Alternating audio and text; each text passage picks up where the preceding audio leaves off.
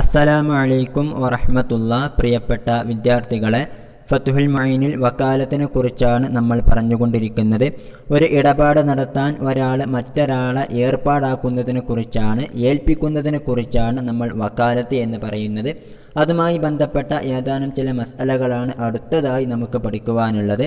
ഉദാഹരണത്തിന് റാസി സിനാനിന് ഒരു നൂറ് രൂപ നൽകാനുണ്ട് എന്ന് സങ്കല്പിക്കുക ഇവിടെ സിനാനെ കുറിച്ചാണ് നമ്മൾ ദാഇന എന്ന് പറയുന്നത് റാസിയെ കുറിച്ചാണ് മദീന് എന്ന് പറയുന്നത്. ഓക്കെ. ഇനി കാശ് കിട്ടാനുള്ള സിനാന് റാസിയോട് പറയാണെന്ത് നീ എനിക്ക് നൽകാനുള്ള നൂറ് രൂപക്ക് ഒരു പുസ്തകം വാങ്ങി തന്നാൽ മതി എന്ന് പറയാണ്. ഓക്കെ. അപ്പോൾ ഇങ്ങനെ റാസി ആ നൂറ് രൂപക്ക് ഒരു പുസ്തകം വാങ്ങിയിട്ട് സിനാനിന് നൽകുന്നതോടുകൂടെ അവന്റെ ഉത്തരവാദിത്വം അവിടെ നീങ്ങിപ്പോകുന്നതാണ് എന്നർത്ഥം. സത്യത്തിൽ ഇവിടെ നടക്കുന്നതും ഒരു വക്കാലത്താണ്. എന്താണെന്ന് വെച്ചാൽ സിനാന് ഒരു നൂറ് രൂപ നൽകിക്കൊണ്ട് റാസിയോട് ഒരു പുസ്തകം വാങ്ങിക്കൊണ്ടുവരാൻ പറയുന്നത് പോലെ തന്നെയാണ് ഇവിടെയും യഥാർത്ഥത്തിൽ സംഭവിക്കുന്നത്. അതായത് വക്കാലത്താണ് എന്നർത്ഥം. അതുകൊണ്ട് തന്നെ വക്കാലത്തിന്റെ നിയമങ്ങൾ ഇവിടെയും ബാധകമാണ്. അഥവാ റാസി ആ നൂറ് രൂപക്ക് പുസ്തകം വാങ്ങി അവന്റെ കയ്യിൽ വെച്ച് ആ പുസ്തകം നശിച്ചു പോവുകയാണ് എങ്കിൽ അവൻ അതിന് ലോമിനാകുന്നതല്ല എന്ന് മാത്രമല്ല പിന്നീട് മുമ്പുണ്ടായിരുന്ന നൂറ് രൂപ അവൻ നൽകേണ്ടതുമില്ല എന്നർത്ഥം. ഓക്കെ അപ്പോൾ വക്കീലിനെ കുറിച്ച് നമ്മൾ അമീനാണെന്ന് പഠിച്ചതുപോലെ ഇവിടെ മദീനായിരിക്കുന്ന റാസിയും വക്കീലാണ് എന്നുള്ള രൂപത്തിൽ അമീനായിരിക്കുന്നതാണ് എന്ന് പറഞ്ഞാൽ അവന് ലൊമാനുണ്ടായിരിക്കുന്നതല്ല എന്നർത്ഥം. അത്തരത്തിലുള്ള ഏതാനും ചില മസാലകളാണ് ഇനി വരുന്നത്. ഒന്ന് ശ്രദ്ധിക്കുക. ഫൊറോൺ ലൗ കാലലി മദീനിഹി ഒരാൾ തന്റെ മദീനിനോട് പറഞ്ഞാൽ അതായത് ഇവിടെ ദായിനായിരിക്കുന്ന സിനാന് തന്റെ മദീനായ റാസിയോട് പറയുന്നു എന്ത്? ഇഷ്തരിലി അബുദൻ നീ എനിക്കൊരു അടിമയെ വാങ്ങിത്തരണം. ബിമാഫി ദിമ്മത്തിക്ക നിന്റെ ഉത്തരവാദിത്തത്തിലുള്ള കാശ് കൊണ്ട് എന്നർത്ഥം. അപ്പോൾ നീ എനിക്ക് കാശ് നൽകാനുണ്ടല്ലോ. അതുകൊണ്ട് നീ എനിക്ക് ഒരു അടിമയെ വാങ്ങിത്തരണം. ഫഫാല അങ്ങനെ മദീന് അത് ചെയ്യുകയും ചെയ്താൽ സഹലിൽ മുവക്കിലി ആ ഒരു ഇടപാട് അതായത് ഇവിടെ ആ മദീന് നടത്തിയിട്ടുള്ള ആ അടിമയെ വാങ്ങൽ എന്നുള്ളത് ശരിയാകുന്നതാണ് ലിൽ മുവക്കിലി. മുവക്കിലിന് വേണ്ടിയിട്ട് അതായത് സിനാനിന് വേണ്ടിയിട്ട് ആ ഷിറ റെഡിയാകുന്നതാണ് വബരി അൽ മദീനു അങ്ങനെ ആ മദീന് ആ കാശ് കൊണ്ട് അടിമയെ വാങ്ങുന്നതോടുകൂടെ അവൻ ആ ദൈനിൽ നിന്നും മുക്തനാകുന്നതുമാണ്. വ ഇൻ തലിഫ ആ അടിമ പിന്നീട് നശിച്ചാലും ശരി അടൽ ഔജഹി ന്യായയുക്തമായ അഭിപ്രായ പ്രകാരം ഓക്കെ ഇനി ഇതുപോലത്തെ മറ്റൊരു മസാല കൂടി. വലു കാലിലി മദീനിഹി. ഇനി ഒരാൾ തന്റെ മദീനിനോട് പറയുന്നത് യതീമിൽ ഫുലാനിയെ കുല്ല യൗമിൻ മിൻ ദൈനില്ലതി അലീക്ക എന്നാണ്. അതായത് നീ എനിക്ക് കാശ് നൽകാനുണ്ടല്ലോ. ആ കാശിൽ നിന്നും ഓരോ രൂപ വീതം എന്ത് ചെയ്യണം? ഇന്നാലിന്ന യത്തീമിന് നീ കൊടുക്കണമെന്ന് പറയാണ്. ഓക്കെ ഒന്ന് ശ്രദ്ധിക്കണം. അംഫിഖ് നീ ചെലവഴിക്കുക. അലൽ യത്തീമിൽ ഫുലാനിയെ ഇന്നാലിന്ന യത്തീമിന്റെ മേൽ നീ ചെലവഴിക്കണം. കുല്ല യൗമിൻ ദിർഹമൻ ഓരോ ദിവസവും ഓരോ ദിർഹം നീ ചെലവഴിക്കണം. മിൻ അളിയിക്ക ഓക്കെ നിന്റെ മേൽ എനിക്ക് കിട്ടാനുള്ള കടത്തിൽ നിന്നും അപ്പോൾ നീ എനിക്ക് നൽകാനുള്ള കാശിൽ നിന്നും ഓരോ ദിർഹം വീതം ഓരോ ദിവസവും നീ ഇന്നാലിന്ന യത്തീമിന് കൊടുക്കണമെന്ന് പറഞ്ഞു. ഫഫാല മദീൻ അങ്ങനെ ചെയ്യുകയും ചെയ്താൽ സഹ ആ ഇടപാട് അവിടെ ശരിയാകുന്നതാണ്. വബരി ആ ഈ മദീന് ആ കടത്തിൽ നിന്ന് മുക്തനാകുന്നതുമാണ്. അലമാലുഹു കാലുഹു ഏതാനും ചില ഫിഖ്ഹി പണ്ഡിതന്മാർ പറഞ്ഞതിനനുസരിച്ച് എന്നർത്ഥം. ഓക്കെ എന്ന് മാത്രമല്ല വയുവാഫിഖുഹു ഈ ഒരു അഭിപ്രായത്തോട് യോജിക്കുന്നുണ്ട്. കൗലുൽ ഖാലി ഖാലി ഖാലി ഹുസൈൻ തങ്ങളുടെ അഭിപ്രായം അദ്ദേഹത്തിന്റെ സംസാരവും എന്താണ് അദ്ദേഹം പറഞ്ഞിരിക്കുന്നത്? ലവ് അമറ മദീനഹു ഒരാൾ തന്റെ കടക്കാരനോട് കൽപ്പിച്ചാൽ എന്തിനാണ് കൽപ്പിക്കുന്നത്? അയ്യഷ്തരിയ ലഹു ബിദൈനിഹി താമൻ ഓക്കെ തനിക്ക് കിട്ടാനുള്ള ആ കടം കൊണ്ട് ഭക്ഷണം വാങ്ങിത്തരാൻ വേണ്ടിയിട്ട് കൽപ്പിച്ചാൽ ഓക്കെ ഫഫാല അങ്ങനെ മദീൻ അങ്ങനെ ചെയ്യുകയും ചെയ്തു. എന്ന് പറഞ്ഞാൽ സിനാന് ഇപ്പോൾ റാസിയോട് പറയുന്നത് എന്താണ്? നീ എനിക്കൊരു നൂറ് രൂപ നൽകാനുണ്ടല്ലോ. ആ നൂറ് രൂപയ്ക്ക് നീ എനിക്ക് ബിരിയാണി വാങ്ങി തന്നാൽ മതി എന്ന് പറയാണ്. അങ്ങനെ റാസി വാങ്ങി അങ്ങനെ റാസി ബിരിയാണി വാങ്ങുകയും ചെയ്തു. സമന. അങ്ങനെ ബിരിയാണി വാങ്ങുമ്പോൾ ആ നൂറ് രൂപ കടക്കാരന് നൽകുകയും ചെയ്തു. വ കബല ത്വാമ. അങ്ങനെ ആ ബിരിയാണി കൈപ്പറ്റുകയും ചെയ്തു. അതിനുശേഷം ഫത്തലിഫ ഫിയദിഹി ഓക്കെ. ഈ റാസിയുടെ കയ്യിൽ വെച്ച് മദീനിന്റെ കയ്യിൽ വെച്ച് ആ ഭക്ഷണം നശിച്ചാൽ എന്താകുന്നതാണ്? ബരി അ മിനദ്ദൈനി. അവിടെ ബരി അ എന്നാക്കിയാൽ അതാണ് ഏറ്റവും നല്ലത്. അപ്പോൾ ആ മദീന് അവിടെ ആ കടത്തിൽ നിന്നും മുക്തനാകുന്നതാണ് എന്നാണ് ഖാലി ഹുസൈൻ തങ്ങൾ പറഞ്ഞിരിക്കുന്നത്. ഇതേ അഭിപ്രായം തന്നെയാണ് ആ യത്തീം ഇന്നാലിന് യത്തീമിന്റെ മേൽ നീ ചെലവഴിക്കണം എന്നുള്ളിടത്ത് നമുക്ക് കാണാൻ കഴിയുന്നത് എന്നർത്ഥം. ഇനി നമ്മൾ മനസ്സിലാക്കേണ്ടത് ഒരാൾ ഒരു ഇടപാട് നടത്താൻ മറ്റൊരാളെ വക്കാലത്തേൽപ്പിക്കുകയാണ് എങ്കിൽ അവിടെയുള്ള വക്കീൽ ആ ഒരു കാര്യം നിർവഹിക്കൽ നിർബന്ധമൊന്നുമില്ല. ഓക്കെ മറിച്ച് അവനത് ചെയ്യാനുള്ള അവകാശമുണ്ട് എന്ന് മാത്രമേ ഉള്ളൂ. അതുമായി ബന്ധപ്പെട്ട ഒരു മസലയാണ് അടുത്തത്. വലു കാലലി വക്കീലിഹി ഒരാൾ തന്റെ വക്കീലിനോട് പറഞ്ഞാൽ ബിഹാദിഹി ബി ബലതി കഥ ഈ ഒരു സാധനം ഇന്നാലിന്ന നാട്ടിൽ വെച്ച് നീ വിൽപ്പന നടത്തണം. എന്നിട്ടോ വഷ്തരിലി ബി സമനിഹ തിന്നൻ ഓക്കെ. എന്നിട്ട് ആ വസ്തുവിന്റെ വില കൊണ്ട് അത് വിൽപ്പന നടത്തിയിട്ട് കിട്ടിയിട്ടുള്ള വില കൊണ്ട് നീ എനിക്ക് വേണ്ടിയിട്ട് ഒരു അടിമയെ കൂടി വാങ്ങണം എന്ന് പറയാണ്. ഓക്കെ. ഇങ്ങനെയെങ്കിൽ അതായത് ഉദാഹരണത്തിന് എന്ത് ചെയ്യാണ്? റാസി തന്റെ കാറ് ഷമ്മാസിന് നൽകിക്കൊണ്ട് പറയാണ് നീ എന്ത് ചെയ്യണം? നീ ഗുജറാത്തിൽ പോയിട്ട് ഈ കാറ് വിൽപ്പന നടത്തി അവിടെ നിന്നൊരു അടിമയെ എനിക്ക് വാങ്ങിത്തരണം എന്ന് പറയാണ്. അങ്ങനെയെങ്കിൽ ജാസലഹു അവിടെയുള്ള വക്കീലിന് ജായിസാണ് ഷമ്മാസിന് ജായിസാണ്. ഈ ഈ ആ ഒരു വസ്തുവിനെ സൂക്ഷിക്കാൻ ഏൽപ്പിക്കാം. ഫിത്വരീഖ് ഗുജറാത്തിലേക്കുള്ള വഴിയിലോ അവിൽ മഖസദി അല്ലെങ്കിൽ ഗുജറാത്തിൽ വെച്ചിട്ടോ. അവന്റെ ഉദ്ദേശ സ്ഥലത്ത് വെച്ചിട്ടോ ഇന്ത അമീനിൻ ഒരു വിശ്വസ്തനായ ആളുടെ അടുക്കൽ മിൻ ഹാക്കിമിൻ അത് ഭരണാധികാരിയാകാം ഫൈരിഹി അതല്ലാത്ത മറ്റാരെങ്കിലുമൊക്കെയാകാം. അപ്പോൾ എന്ത് ചെയ്യാവുന്നതാണ്? ഈ ഷമ്മാസിന് റാസിയുടെ കാറ് എവിടെ വെച്ചിട്ട് ഗുജറാത്തിലേക്കുള്ള വഴിയിലോ അല്ലെങ്കിൽ ഗുജറാത്തിലോ ഒക്കെ ആയിട്ട് വിശ്വസ്തനായിട്ടുള്ള ഒരാളുടെ കയ്യിൽ ആ കാറ് സൂക്ഷിക്കാൻ ഏൽപ്പിക്കാവുന്നതാണ്. കാരണം എന്താ? ഇതിൽ അമലു ഗൈറുലാസിമില്ലഹു കാരണം ഈ കാറ് വിറ്റുകൊണ്ട് ആ അടിമയെ വാങ്ങുക എന്നുള്ള ആ പ്രവർത്തനം ഈ വക്കീലിന്റെ മേൽ നിർബന്ധമൊന്നുമില്ല. എന്ന് മാത്രമല്ല വലാ തകരീറ മിൻഹു ഇങ്ങനെ ഒരു വിശ്വസ്തന്റെ കയ്യിൽ ഏൽപ്പിക്കുക എന്നുള്ളത് അവന്റെ ഭാഗത്ത് നിന്നുള്ള ഒരു വഞ്ചനയുമല്ലല്ലോ. കാരണം ഈ കാറ് നഷ്ടപ്പെടാതിരിക്കാൻ വേണ്ടിയിട്ട് അവൻ വിശ്വസ്തന്റെ കയ്യിൽ തന്നെയാണത് നൽകിയിട്ടുള്ളത്. അപ്പോൾ അവന്റെ ഭാഗത്ത് നിന്ന് വക്കീലിന്റെ ഭാഗത്ത് നിന്ന് യാതൊരു വിധത്തിലുള്ള ചതിയും അവിടെ ഇല്ല എന്നർത്ഥം. ഓക്കെ. ഇനി ബലിൽ മാലിക്കോ മറിച്ച് ഇവിടെ മാലിക്കാണ് ആ വസ്തുവിന്റെ യഥാർത്ഥ ഉടമസ്ഥനായ നമ്മുടെ ഉദാഹരണത്തിലെ റാസിയാണ്. ഹുവൽ മുഖാത്തിർ ബിമാലിഹി. അവനാണ് സ്വന്തം സമ്പത്ത് കൊണ്ട് അപകടത്തിലേക്ക് വീഴുന്നവൻ എന്നർത്ഥം കാരണം എന്താണ്? ഈ കാറ് ഇനി ഗുജറാത്തിലേക്ക് എത്തണം എന്നിട്ട് ഗുജറാത്തിൽ നിന്നത് വിറ്റിട്ട് അതുകൊണ്ടൊരു അടിമയെ വാങ്ങണം എന്നുള്ള കാര്യമൊക്കെയാണ് ഇവിടെ റാസി ഷമ്മാസിനെ ഏൽപ്പിക്കുന്നത്. ഓക്കെ. അതുകൊണ്ട് തന്നെ അതിന്റെതായ പ്രയാസങ്ങളും ബുദ്ധിമുട്ടുകളും ഒക്കെ സഹിക്കാൻ ഇവിടെ റാസി ബാധ്യസ്ഥനാണ് എന്നർത്ഥം. ഓക്കെ. ഇനി അങ്ങനെ തന്നെ ഒമിൻ സമ്മ. അതിനാൽ തന്നെ അതിനാൽ തന്നെ എന്ന് പറഞ്ഞാൽ ഈ കാര്യം ചെയ്യൽ വക്കീലായിട്ടുള്ള ഷമ്മാസിന് നിർബന്ധമില്ലാത്തത് കൊണ്ട് തന്നെ ലൗ ബാഅഹ ഇനി ആ വസ്തുവിനെ ഇനി ആ വസ്തുവിനെ ഷമ്മാസ് ഇവിടെയുള്ള വക്കീൽ വിറ്റാൽ തന്നെ ലം യൽസംഹു ഷിറ ഉൽ ഖിന്നി. അവന്റെ മേൽ ആ അടിമയെ വാങ്ങൽ നിർബന്ധമില്ല. അപ്പോൾ ഇനി ആ കാറ് വിറ്റാൽ തന്നെ അടിമയെ വാങ്ങൽ നിർബന്ധമില്ല.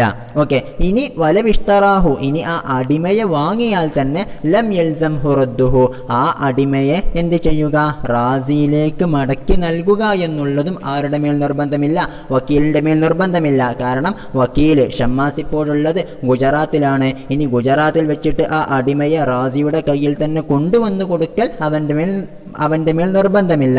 ബൽ മറിച്ച് ലഹു ഈദാഹു എന്ത ലഹു ഈദാഹു ആ അടിമയെ ഈ ഇവനക്ക് ഈ വക്കീലിനെ സൂക്ഷിക്കാൻ ഏൽപ്പിക്കാവുന്നതാണ്.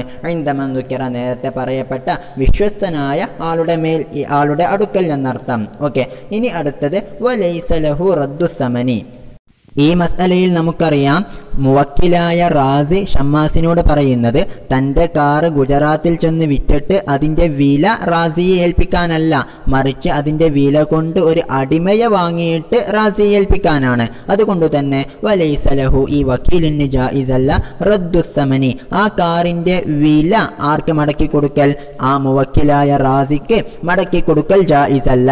ഏതവസരത്തിൽ? ഹൈസു ലാ കരീനത കവിയത്തൻ ശക്തമായതായ ഒരു സാഹചര്യ തെളിവ് ഇല്ലാത്ത അവസരത്തിൽ. എന്തിന്റെ തെളിവാണ്?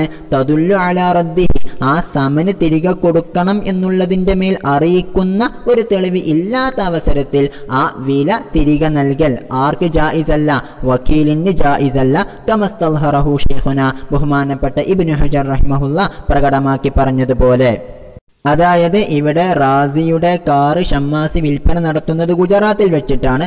അപ്പോൾ അതിന്റെ കാശും ഇപ്പോൾ ഷമ്മാസിന്റെ കയ്യിലുണ്ടായിരിക്കുക ഗുജറാത്തിൽ തന്നെയായിരിക്കും. പിന്നീട് ആ കാശ് കേരളത്തിലിരിക്കുന്ന മുവക്കിലായ റാസിക്ക് കൊടുത്തയക്കണമെന്നുണ്ടെങ്കിൽ ആ ഗുജറാത്ത് മുതൽ കേരളം വരെയുള്ള വഴിയുടനീളം ആ കാശ് സംരക്ഷണത്തിലായിരിക്കണം അല്ലേ? ഇനി അഥവാ ആ കാശ് ആരെങ്കിലും ഈ വഴിയിൽ കട്ടുകൊണ്ടു പോവുകയോ തട്ടിപ്പറിക്കുകയോ ഒക്കെ ചെയ്താൽ ആ കാശിന്റെ ഉത്തരവാദിത്വം വക്കീലായ ഷമ്മാസി ഏറ്റെടുക്കേണ്ടി വരും. കാരണം എന്താണെന്ന് വെച്ചാൽ അവനോട് റാസി പറഞ്ഞത് ആ കാശ് അങ്ങോട്ട് ഏൽപ്പിക്കാനല്ല മറിച്ച് ആ കാശ് കൊണ്ട് ഒരു അടിമയെ വാങ്ങിയിട്ട് നൽകാൻ വേണ്ടിയിട്ടാണ് എന്നർത്ഥം. ഓക്കെ. ഇനി അഥവാ ഈ റാസിയുടെ ഭാഗത്ത് നിന്നും ഒരു കരീനത്തുണ്ടായിരുന്നുവെന്ന് കരുതുക.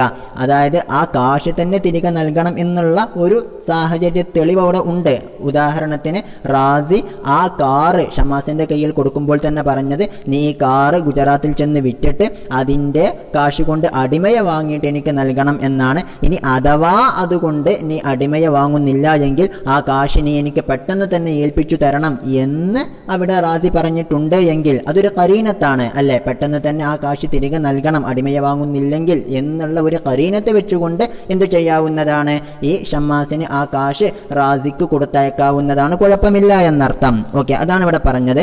അപ്പോൾ നമ്മളിവിടെ പറഞ്ഞു എന്ത്? വലൈസലഹു റദ്ദുസമന എന്ന്. ഈ വക്കീലിനിക്ക് ആ കാറിന്റെ കാശ് തിരികെ നൽകൽ ജായിസല്ല. കാരണം ലി അന്നൽ മാലിക.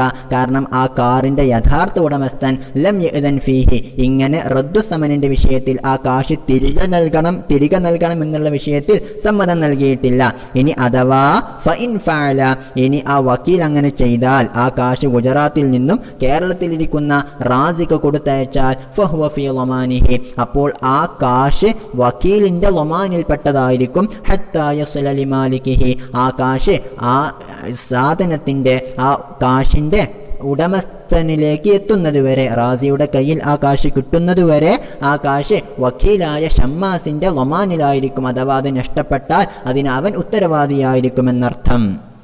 ഇനി പറയുന്ന മസലയിൽ സെയ്ദ് അനസിന് ഒരു നൂറ് രൂപ നൽകാനുണ്ട് ഓക്കെ ഈ അവസരത്തിൽ അഫ്സൽ വന്നിട്ട് സെയ്ദിനോട് പറയാണ് എന്ത്?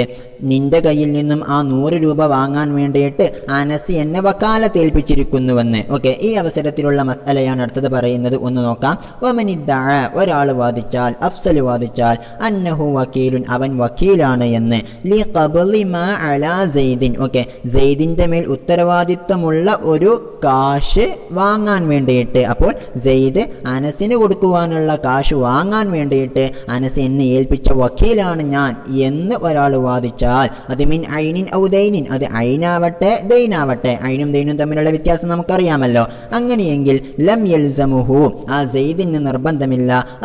ഇലേഹി. ആ കാശ് ആ വക്കീൽ എന്ന് പറഞ്ഞ് വന്ന ആ വാദക്കാരന് നൽകൽ ഇവിടെയുള്ള അഫ്സലിന് നൽകൽ നിർബന്ധമില്ല. ഇല്ലാ ബിബയ്യിനത്തിൻ വക്കാലത്തിഹി അവൻ വക്കാലത്ത് ഏൽപ്പിച്ചവൻ തന്നെയാണ് എന്നുള്ള ഒരു തെളിവ് കൊണ്ടല്ലാതെ ഓക്കെ അപ്പോൾ ഈ അനസ് ആരെ വക്കാലത്ത് ഏൽപ്പിച്ചിരിക്കുന്നു? അഫ്സലിനെ വക്കാലത്ത് ഏൽപ്പിച്ചിരിക്കുന്നു എന്നുള്ള തെളിവ് കിട്ടിയാൽ മാത്രമേ സെയ്ദ് ആ നൂറ് രൂപ അഫ്സലിനെ ഏൽപ്പിക്കേണ്ടതുള്ളൂ.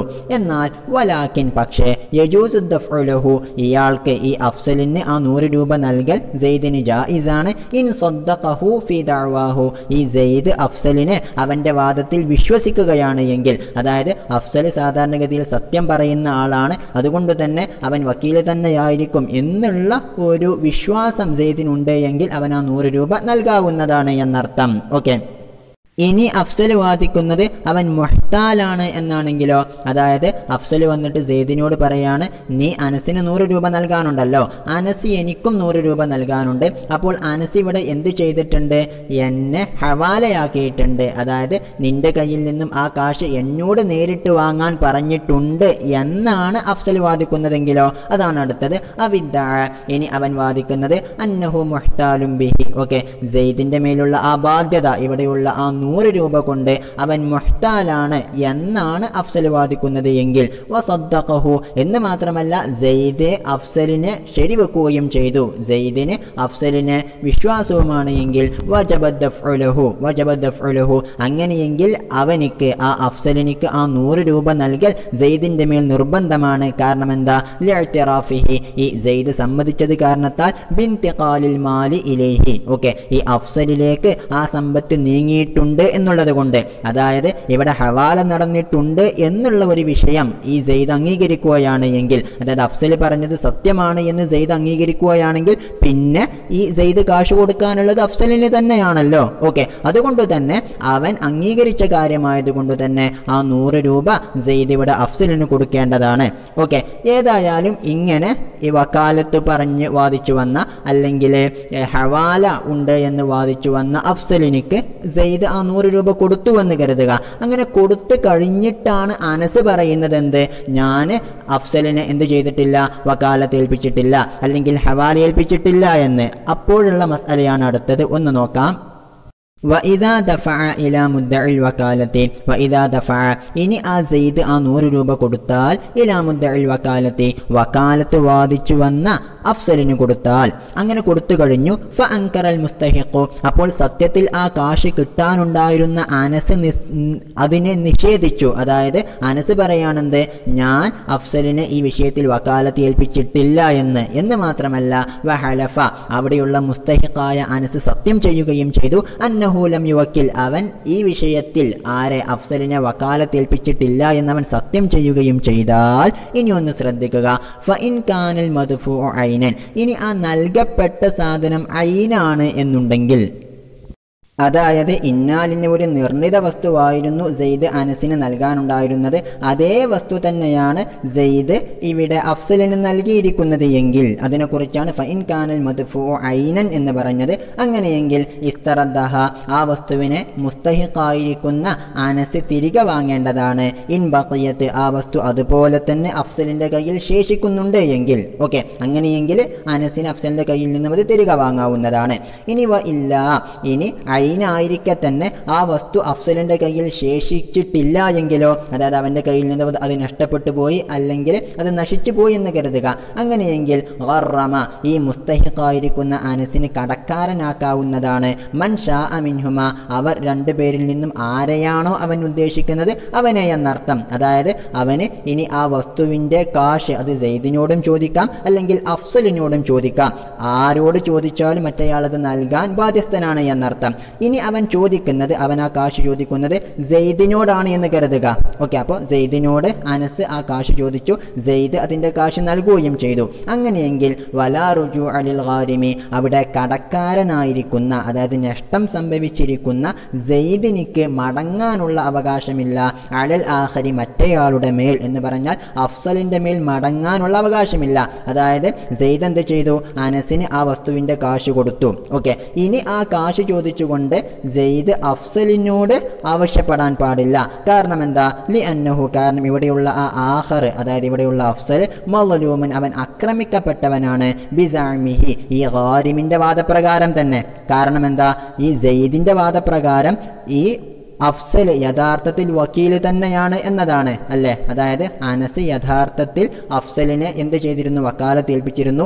പിന്നീട് അനസ് അതിനെ വെറുതെ അങ്ങ് നിഷേധിച്ചതാണ് എന്നാണ് ഇവിടെയുള്ള ജെയ്ദിന്റെ വാദം അല്ലേ? അപ്പോൾ ജെയ്ദിന്റെ വാദപ്രകാരം അഫ്സൽ യാതൊരു തെറ്റും ചെയ്തിട്ടില്ല. അവൻ യഥാർത്ഥത്തിൽ ആക്രമിക്കപ്പെടുകയാണ് ചെയ്തിരിക്കുന്നത്. അതുകൊണ്ട് തന്നെ ഇനി അവനോട് സെയ്ദ് കാശ് ചോദിക്കാൻ പാടില്ല എന്നർത്ഥം. ഓക്കെ നമ്മൾ ഏതായാലും ഇവിടെ പറഞ്ഞത് ഐനായിരിക്കുന്ന അവസരത്തെക്കുറിച്ചാണ്. ഇനി ഔ ദൈനൻ ഇനി സെയ്ദ് ആർക്ക് നൽകിയിരിക്കുന്നത്? അഫ്സലിന് നൽകിയിരിക്കുന്നത് ദൈനാണ് എന്ന് കരുതുക. അതായത് ഒരു നിർണിത വസ്തുവെന്ന് ഉണ്ടായിരുന്നില്ല. അത്തരത്തിലുള്ള ഒരു കാര്യമാണ് ആരെ? സെയ്ദ് ഈ അഫ്സലിനെ ഏൽപ്പിച്ചിരിക്കുന്നത് എങ്കിൽ ഫഖത്ത് അങ്ങനെയെങ്കിൽ ആ ഒരു കാര്യം ആ ഒരു കാശ് അല്ലെങ്കിൽ ആ ഒരു വസ്തു ദൈന് ഓക്കെ. ആ ദൈന് ഈ മുസ്തഹിക്ക് തേടേണ്ടത് ദാഫിയനോട് മാത്രമാണ് അതായത് സെയ്ദിനോട് മാത്രമാണ് എന്നർത്ഥം. അപ്പോൾ അനസ് പിന്നീട് തന്റെ കടം ആവശ്യപ്പെടാ ആവശ്യപ്പെടേണ്ടത് സെയ്ദിനോടായിരിക്കണം എന്നർത്ഥം. അപ്പോൾ ഇതുവരെ നമ്മൾ പറഞ്ഞത് അഫ്സൽ വന്നിട്ട് എന്ത് പറയുന്നതിനെ കുറിച്ചാണ് ഞാൻ വക്കീലാണ് എന്ന് പറയുന്നതിനെ കുറിച്ചാണ് അല്ലേ? ഇനി അഫ്സൽ വന്നിട്ട് പറയുന്നത് ഞാൻ മുഹ്താലാണ് എന്നാണെങ്കിലോ? അതായത് ജയ്ദെ നീ അനസിന് കൊടുക്കാനുള്ള കാശ് എനിക്ക് നൽകാൻ എന്നെ അനസ് ഹവാലയാക്കിയിരിക്കുന്നു എന്ന വാദവുമായിട്ട് വന്ന അഫ്സലിനാണ് സെയ്ദ് ആ കാശ് കൊടുത്തത് എങ്കിലോ? അതാണ് അടുത്തത് പറയുന്നത്. ഔ ഇല മുദ്ദഇൽ ഹവാലത്തി. ഓക്കെ നേരത്തെ പറഞ്ഞ ഇല മുദ്ദഇൽ വക്കാലത്തി എന്നുള്ളതിലേക്കുള്ള അത്തുഫാണ്. ഔ ഇല മുദ്ദഇൽ ഹവാലത്തി. അല്ലെങ്കിൽ ഹവാലയെ വാദിക്കുന്ന അഫ്സലിനാണ് സെയ്ദ് ആ കാശ് കൊടുത്തത് എങ്കിലോ. അങ്ങനെ നൂറ് രൂപ കൊടുത്തു. ഫ അൻകറ അപ്പോൾ അവിടെയുള്ള ദാഇന് നിഷേധിച്ചു. അനസ് നിഷേധിച്ചു. അൽ ഹവാലത്ത ഹവാലയെ എന്ന് പറഞ്ഞാൽ അനസ് പറയാണ് ഞാൻ അഫ്സലിനെ ആ വിഷയത്തിൽ ഹവാലയാക്കിയിട്ടില്ല എന്ന്. എന്ന് മാത്രമല്ല വ ഹലഫ അവനത് സത്യം ചെയ്യുകയും ചെയ്താൽ അഹദ ദൈനഹു. അവന് അവന് കിട്ടാനുള്ള ദൈന് എടുക്കാവുന്നതാണ്. മിമ്മൻ കാന അലീഹി. ഓക്കെ. ആ ദൈന് ആരുടെ മേലായിരുന്നോ ഉണ്ടായിരുന്നത്? അവൻ അവനിൽ നിന്നും എന്നർത്ഥം അതായത് സത്യത്തിൽ അനസിന് കാശ് കൊടുക്കാനുണ്ടായിരുന്നത് ജെയ്ദായിരുന്നു അപ്പോൾ ജെയ്ദിനോട് തന്നെ ആ നൂറ് രൂപ ചോദിക്കാവുന്നതാണ്.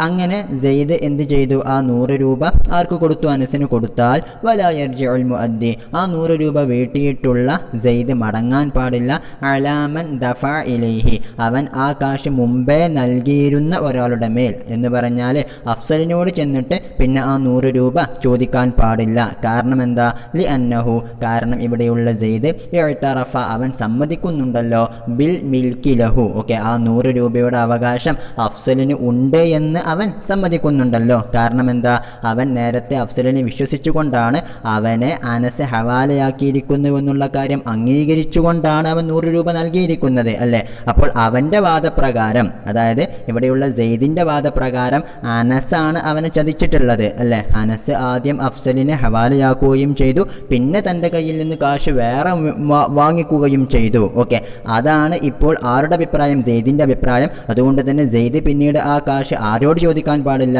അഫ്സലിനോട് ചോദിക്കാൻ പാടില്ല എന്നർത്ഥം. ഓക്കെ ഇനി ഇത് ഇതുമായി ബന്ധപ്പെട്ട മറ്റൊരു മസലയാണ് വളരെ സിമ്പിളാണെന്ന് നോക്കുക.